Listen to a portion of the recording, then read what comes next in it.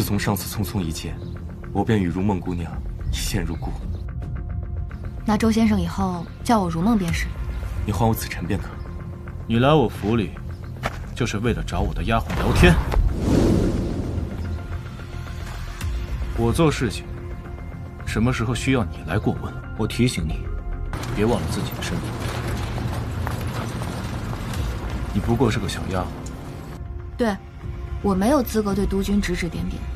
那也烦请督军以后，不要过问我与谁来往亲密。我提醒你，你只是一个丫鬟，别整天妄想着攀上高枝变凤凰。真难伺候。你在说我坏话？我哪敢呀？你有什么不？